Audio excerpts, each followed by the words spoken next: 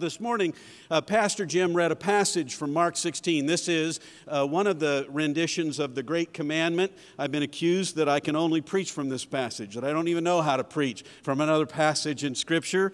Well, this morning I'd actually like to talk about a different passage, if you don't mind. We in the Reformed faith believe that the Bible is the best interpreter for the Bible, do we not? And I'd like to share a story out of Scripture. So if you have your Bibles, would you turn with me to John chapter 9? And I'd like to read a secondary story that we can use to talk about this idea of being courageous to share. Do you have your Bibles? Turn with me to John chapter 9, and I'm going to read verses 1 through 5. Hear now the word of our Lord. And now, as Jesus passed by, he saw a man who was blind from birth. And his disciples asked him, saying, Rabbi, who sinned, this man or his parents, that he was born blind? And Jesus answered, Neither this man nor his parents sinned, but that the works of God should be revealed in him. I, now perhaps your Bible says we, and that is a very fair rendering. We must work the works of him who sent me while it is day. The night comes when no one can work. As long as I am in the world, Jesus said, I am the light of the world. Herein ends the reading of Christ's word, and may his name ever be praised. Now, bizarrely enough, for those of you who remember the last time that I had a chance to preach here, this is the passage that I preached from. I've been noodling around. Now, it's not the same sermon, relax. You, might remember that that sermon was titled The End is Near. Anybody remember? I had a sign, I carried it around, said, The end is near. And we talked about two items from this passage, and that is this, this concept of time and this concept of target. Now, again, I assure you I'm not going to preach that same sermon, but I do want to revisit it today because I think it's so instructive to us, especially in this area of sharing, having courage to share, is the idea of focusing our attention on time and target. And by the way, uh, preaching for the EE Sunday in September for me, especially at this church, is a bit bittersweet. You might remember it was five years ago in 2007 that I had the opportunity to preach at this very service at Coral Ridge, but it was the week following the passing of Dr. D. James Kennedy. So I can't help but as I think about preaching about evangelism in the early days of September, I cannot help but to go back and to think again about the days that I've had the privilege of walking and, and listening to and observing Dr. D. James Kennedy. And I don't know if you remember, but one of his favorite sayings, do you know what it was? Only one life, twill soon be past. Only what's done for Christ will last. You remember? Well, by the way, it's, it's not unusual that contained within this very phrase are two ideas. You want to take a guess at what they are? Time, only one life, twill soon be past. Target, only what's done for Christ will last. And so, if you don't mind, I'd like to park and think, just noodle around on this idea of time and target for a minute this morning. When I was a boy in school, I seemed to measure time by the second hand of the clock. Do you know what I mean? Literally, tick, tick, tick. It might be feeling like that to you right now as I'm preaching. the last hour of school seemed like an absolute eternity. Now, Today I'm 50. I'll soon to be 51. In fact, this very week, uh, September 14th, the day of your EE banquet, I'll be 51 years old, the same age as my friend Jim Carter. now, at this point, thank you. You know, the funny thing is, is I have all these pictures of my birthday, and none of them am I home. I'm always somewhere else. I'm in China, I'm in any, all over the place, but not home. Well, at this point, at, at, the age that I am now, time moves at a slightly different pace. I mean, I blink and another month is gone. Do you know what I mean by this? You know, it seems like I put up the Christmas items, I take them down. I put them up, I take them down. I, I'm, I'm to the point now where I absolutely understand the people who leave their Christmas things up all year. there just isn't enough time to mess around with putting them away. If you don't mind, I'd like to park out and, and, and think about this concept of time for a few minutes this morning because I find it very interesting. As we consider time, there's a couple things that we absolutely positively know is true, and one is we don't know what time it is. History is replete with all kinds of examples of people who thought they had all kinds of time. No other illustration is needed than 9 11, as all of those people went up in those buildings thinking that was just another day. But you know what? It was the last day of their life. None of us know. So, there are some people who, who say they, they know what time it is, but whenever we hear somebody say, the end is coming on this particular day, doesn't it make you a little leery? I, I think it should. Because frankly, the day will come and then the day will go and the end will not come. No, the truth is simply put, we, none of us here today, know what time it is. But the good news is there is somebody who does know what time it is. His name is Jesus. He is, in fact, the master of time. He's the maker of time. He's the one who's able to say, Here, here, put your, your fish hook in the water, and, and here, here, now, now, there's a fish with a coin in its mouth. He's the one who could honestly say, You all go on to Jerusalem, but I'm not going to go because my time has not yet come. He's the one that's plugged into the eternal Father who knows the fullness of time, every event, and when it should happen.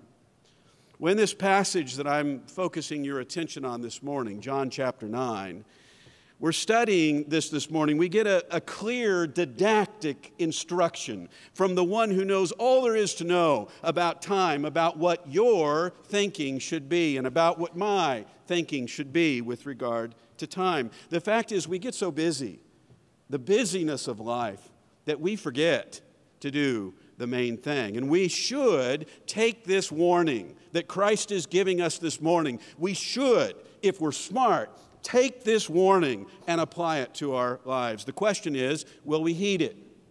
Will you, in particular? Now, there's a longtime friend of the ministry of EE. He's a wonderful, delightful man. He used to be the chairman of the board of EE uh, UK, the, the uh, Britain. Uh, his name is Brian Alexander, and he said this when referring to this idea of, of being an evangelist, having courage to share. He said, John, listen, when all is said and done, more is said than done. And that's the truth in so many of our lives. We talk about it, but do we do it? And as we focus our attention on time, the question is how urgent is it to us that we do it and we do it today? For the day is coming, we certainly know that from this passage, when, when day will be gone and night will come and no man may work. And here's the question Will you, will you be ready for that day? You know, there was a movie that was about bucket list. I've not seen the movie, but I like the idea. Do you like the idea of a bucket list? Do you have a bucket list of the things that you're determined to do before you no longer can do them? And I would hope that on your bucket list is the idea of being a witness for Jesus Christ and leading someone to Christ. And you know, the truth is, it seems obvious to us as Christians, but did you know that 80% of the people who are Christians have never led anyone to Christ? 80% are going to go one day before their Lord and Savior with nothing to show as far as another person that they're bringing to the Savior. You know, I could share the, the rest of today, I could take of stories who, of people who changed their minds and decided to make this a priority. I'll share with you just one from an email that I received from Japan. We had a leadership training clinic about four weeks ago in Japan. I was in Japan about three weeks ago, and so I met this young man, or this, this elderly man, I should say. And, and when, when I met him, I was impressed at, at how, how quick he was to share the gospel with everyone around him. Well, here's why he has a brain tumor. And somebody told him that he had six months to live. Six months, that was it. And then it was over. Now, the truth is, we all have a time amount stamped on our life that's ticking. The, the difference between us and this man is we don't know how long it is. He does. He knows it's six months. And so he became determined that he was going to get involved, and he found this thing called Evangelism Explosion. He went to one of our leadership training clinics. This is a man who was a pastor for 50 years and never saw anyone come to Christ. 50 years in Japan. Well, now this guy witnesses to every single thing that wiggles around him. And he sent me an email just a few days ago and says, John, I just led two people to Christ and another young man in an assurance of his salvation. He said, Here's the thing I'm going to give up being the, the pastor of the church. We've got a young man who can do that so I can focus full time for whatever my days are left to be an evangelist for Jesus Christ. Isn't that amazing? Isn't that wonderful? And yet we could tell stories from this very congregation. Do you remember Ruth Clark? Anybody? Do you remember Ruth? And how focused she became about evangelism as she was in her last days. Well, the truth is, we're all in our last days. And what I'd like to do today is to remind us of that. In 1956, there was a very famous missionary by the name of Jim Elliot. You know Jim Elliot, you know of him. He was speared to death along with four of his colleagues by the tribal people that he was trying to reach with the gospel. Jim was a passionate follower of Jesus Christ. About four years before he died, he wrote this in his journal When it comes time to die, make sure that all you have to do is die we can't understand how God decides the day of our death. We don't know when the finish will come for us, but we should all live our lives in such a way that when we reach that finish line of our life, there's no unfinished business, no works that God has given us to do, assigned to us, that we've left undone. So, the question of this morning is do you have that magnificent obsession as Jesus did, to do the works that God left for him to do because he knew that the night was coming when no man would be able to work. Can we accept this challenge in our lives to be like Jesus in our attitude toward the work that God has gave, given us to do, as Pastor Jim read in the Great Commission from Mark 16? That's the question of this morning. The truth is that works have come on hard time in our church today, or in the church of Jesus Christ today. I, I, didn't realize this until I had the opportunity to write a book with Dr. Kennedy called Well Done. And as that book got released and sent out, I began to get a lot of complaints about it. People saying, John, you shouldn't be uh, putting people into bondage to legalism so that they would feel guilty about the things that they've left undone uh, they, they preach, even though they have uh, the Westminster Confession of Faith, which very clearly states that, that, that sanctification is this idea of this, this cooperation internally in us being made into the likeness of Christ. These young Calvinists, and if I, if I mention their names, you'd know exactly who I'm talking about. They are actively teaching in the Church of Jesus Christ today that not only is salvation an external act or commandment of God, but that sanctification is an external pronouncement of God about us and not at all connected to the things that we do. That when we hear well done, if we ever hear well done, it will not be because of the things that we have done, it will be because of the things that Christ has done. This is actually called sonship theology. It's a heresy that's existed for an awfully long time, but it's being resurrected within the PCA and preached from PCA pulpits today. And people are listening to it, they're buying it, and they're, they're saying, oh, what a relief. All I need to do is hear the gospel for salvation, and then I can hear the gospel for sanctification, and I hear the gospel every day. And if I ever feel guilty, all I need is the gospel.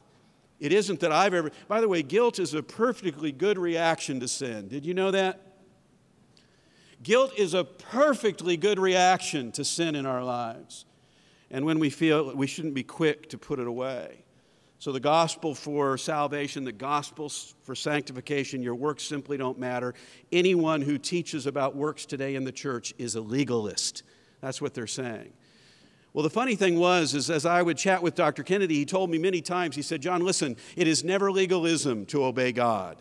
It is never legalism to obey God. You understand that the definition of legalism is when man adds works that are required to be okay before God, not when God adds them. When God tells us what to do, we should be quick to do it. And that is not legalism to do it or to encourage others to do it as well. In fact, if it were, you'd have to take out half of the New Testament and claim it to be legalism. Because half of the New Testament is warnings, like the one we're looking at today. So quickly, I want to. I want to. Uh, now, Anne says this is going to depress you, but I promise you, I'm going to do it quick. There are six things I want to share this morning from this passage. Six, but they're going to be quick. Here they are. Number one. First, we should realize when we, real, when we read this passage that the work that God wants us to do, me and you to do, is not an accident. It is not an accident, it's an opportunity for us to tell others about Jesus. You, you see that right here in this passage. The disciples had come upon a man who was born blind from birth. And the disciples asked, Master, who sinned, this man or his parents? They reasoned that suffering was related to sin. This man was suffering, therefore, some sin must be involved. Who sinned?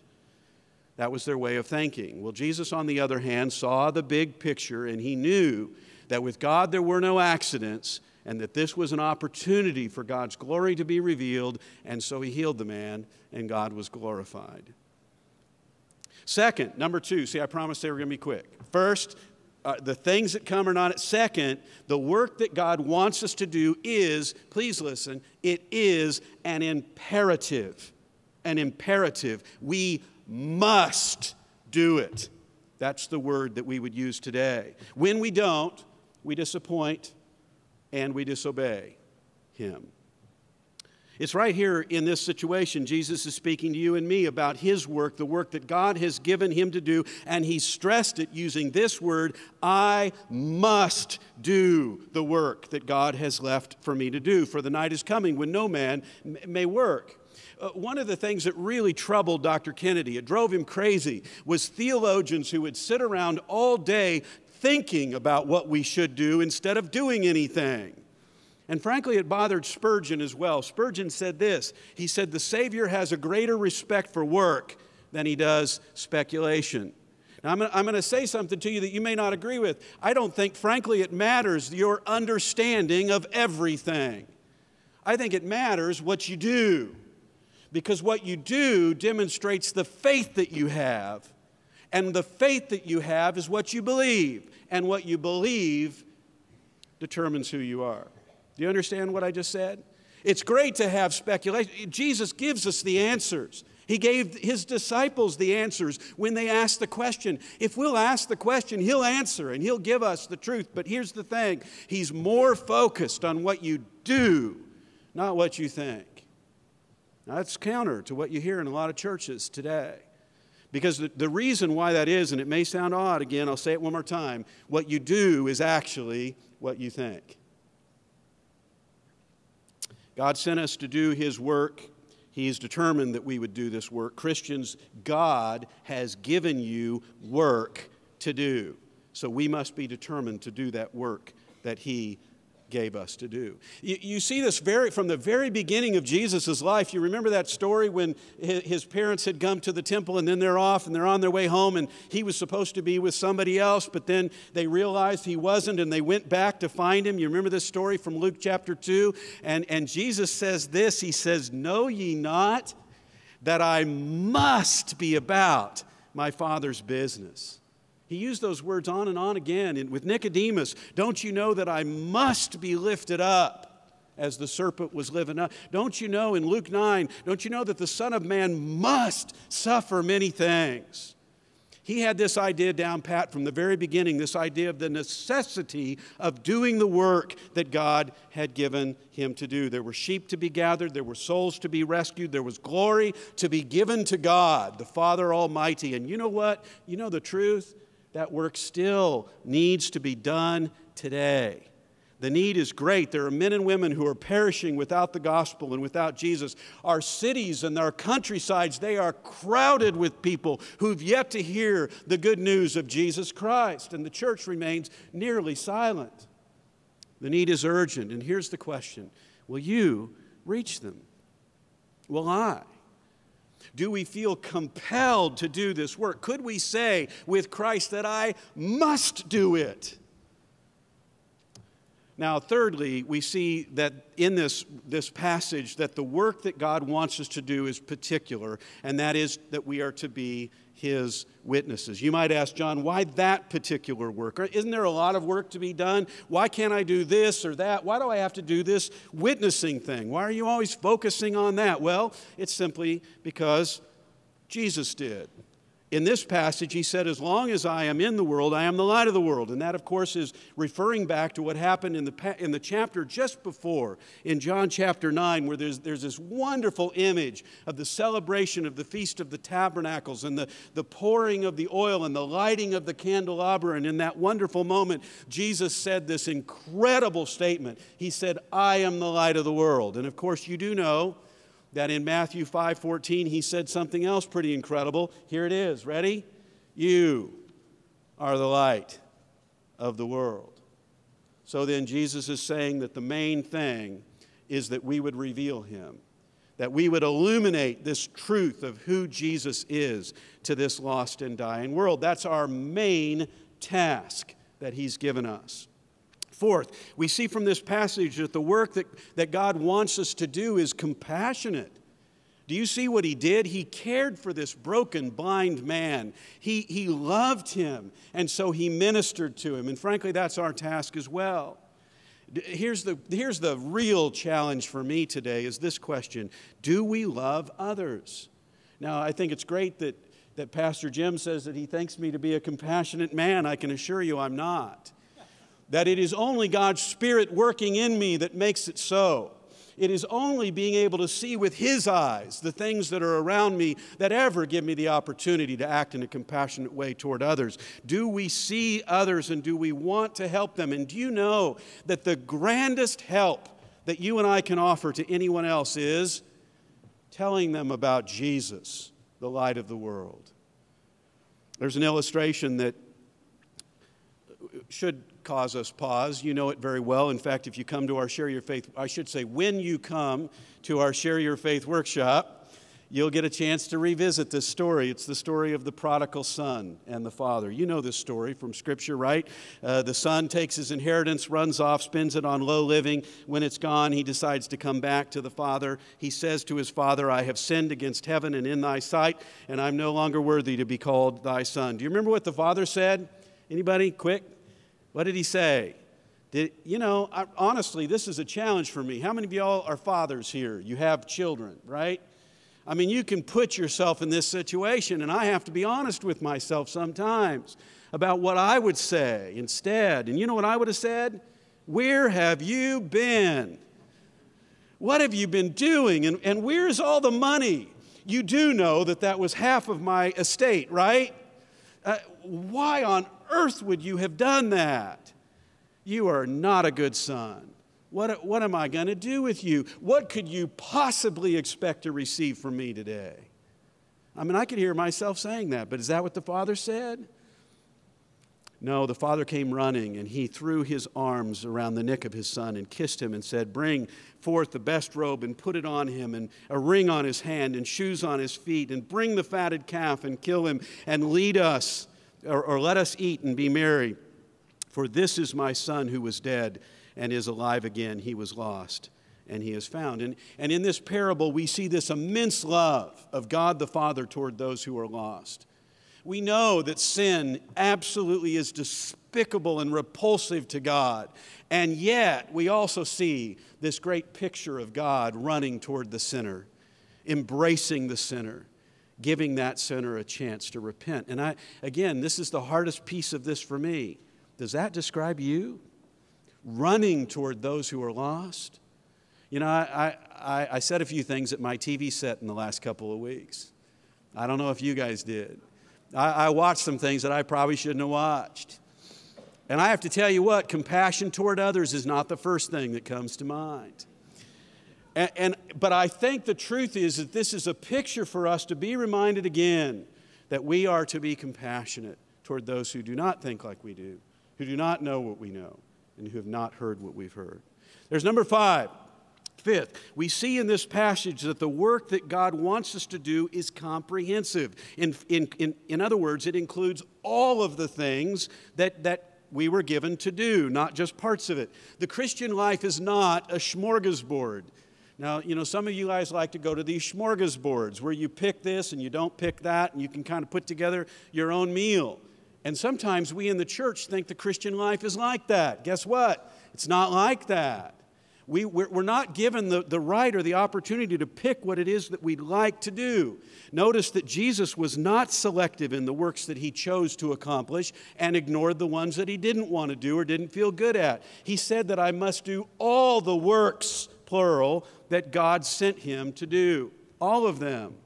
We know from the Garden of Gethsemane, this is all the illustration we need as Jesus prayed blood drops were coming from his brow, and yet he obeyed. Sixth and finally, whew, see, the end is near. Sixth and finally, we see from this passage that the works that God wants us to do are, and this is where we started, we'll end again, bounded by time, and time is short. We must hurry to do what we must do to today because the night is coming when no man may work. Now, frankly, these are striking words from Jesus, the Master of Time. He was Christ. He is God eternal. He was there forever in the past. He'll be there forever in the future. He's not bounded in time for him. If anyone could have said, I'm going to take today off, it would have been Jesus, because he's the Master of Time. And yet he was concerned about doing what it was that God instructed him to do in the moment that God instructed him to do it. And he was aware of the fact that time was passing. And if that's true of Jesus, how much more true should it be for us, creatures of time, and for whom time is passing? Richard Baxter once said, I preach as though I ne'er may preach again, as a dying man to a dying man. The hard truth is that life will come to an end one day for every single one of us, and, and, and for the people that we're supposed to witness to.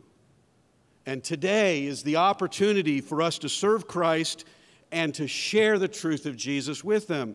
We, we don't know how long that opportunity will last. And I have to tell you, again, from watching what I've seen in the last couple of weeks, I have to tell you, the time is more urgent today than it ever has been. There was a man by the name of Dr. Carl F.H. Henry who was a visiting speaker at a seminary when he spoke of the frightening rise of the new barbarism in our age. Do you know what I'm speaking of? The barbarians are coming, he said.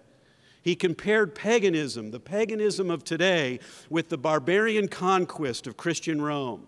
He said, they are coming in science through the misuse of new discoveries. Anybody seen that? They're coming by manipulating what it is that men feel like they need in public opinion, is sending them toward base or bad needs. Anybody see that in our society today?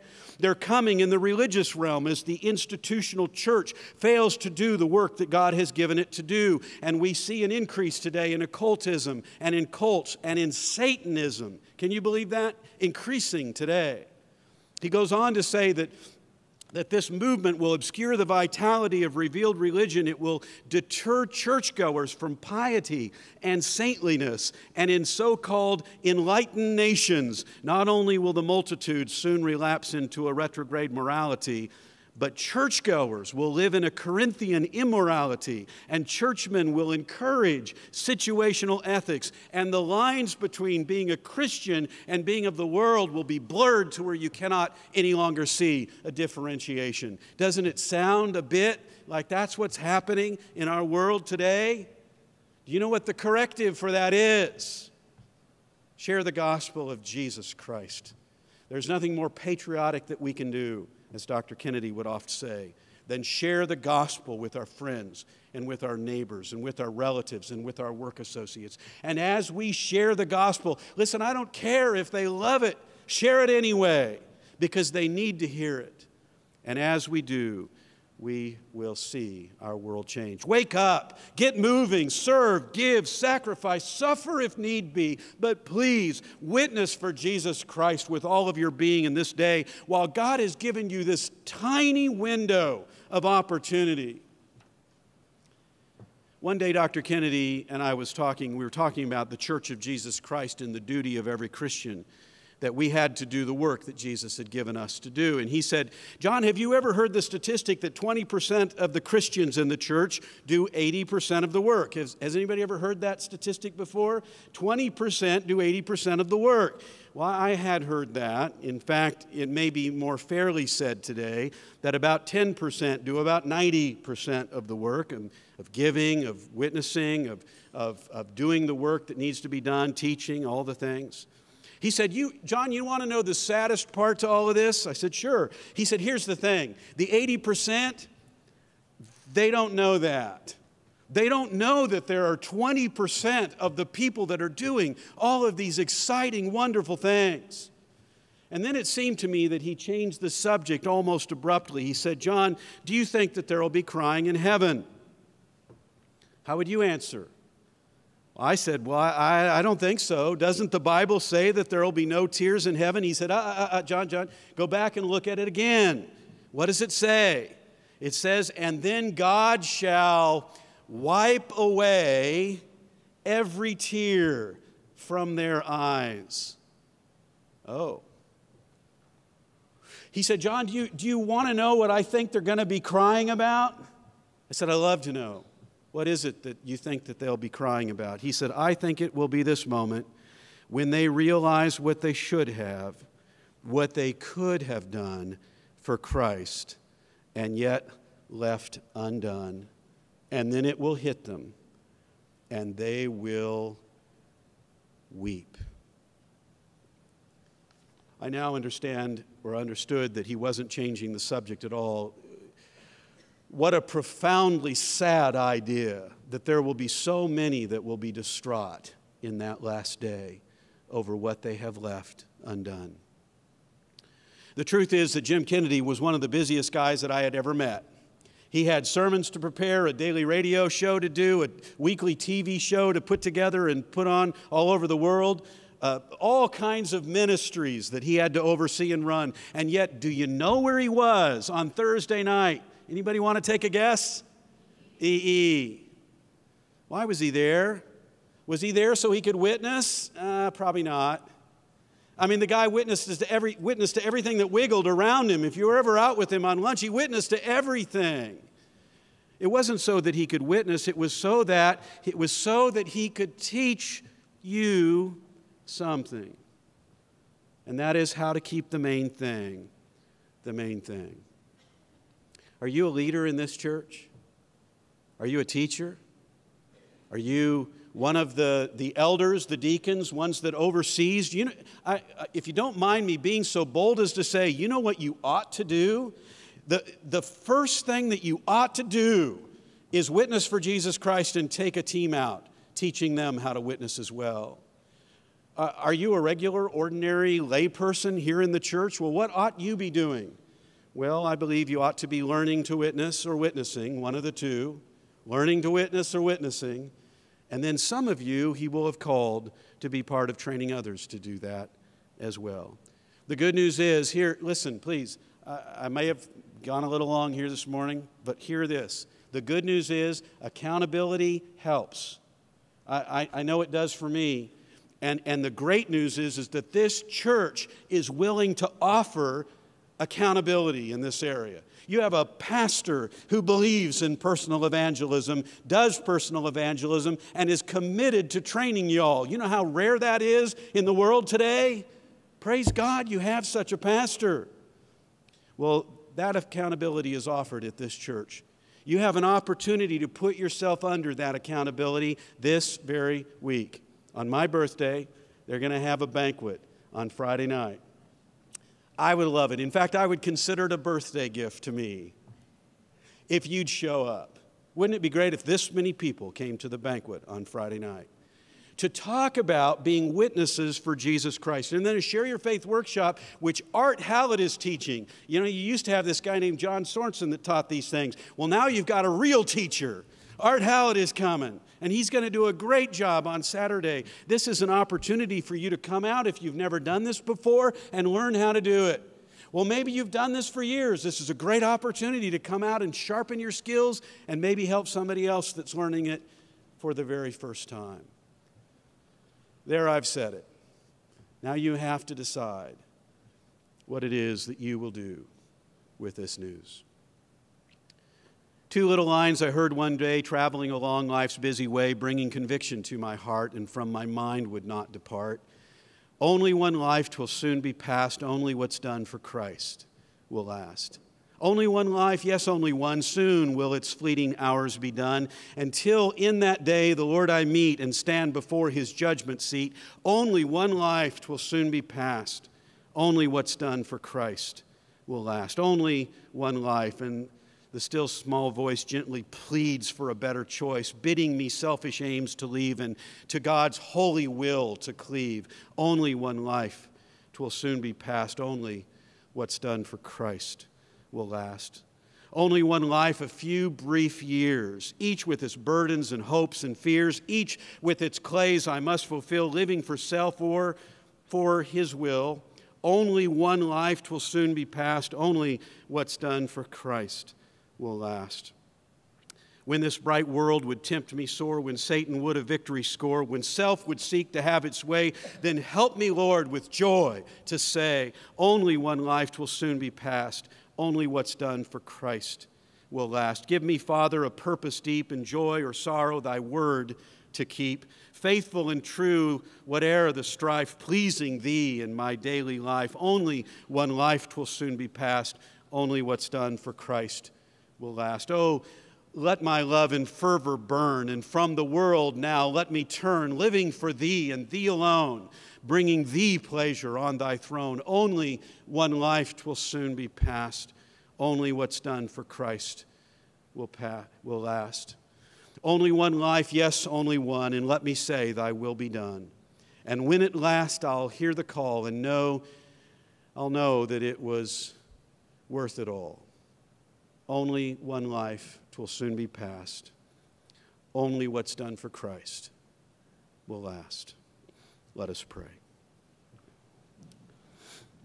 Oh God, please forgive me. Forgive us when we become altogether too infatuated with this life, a life lived for our sakes and for our purposes we see that you have built us for a very particular purpose and given us work to do, very specific work to do while we're here on earth. Help us, O oh God, to do it, to be your witnesses for Jesus, for, for, for everyone that we meet.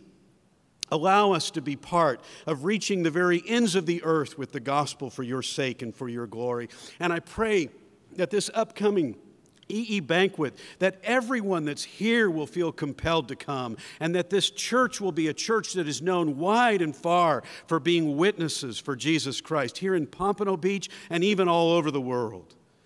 For I pray in the precious name of Jesus, even the Christ. Amen.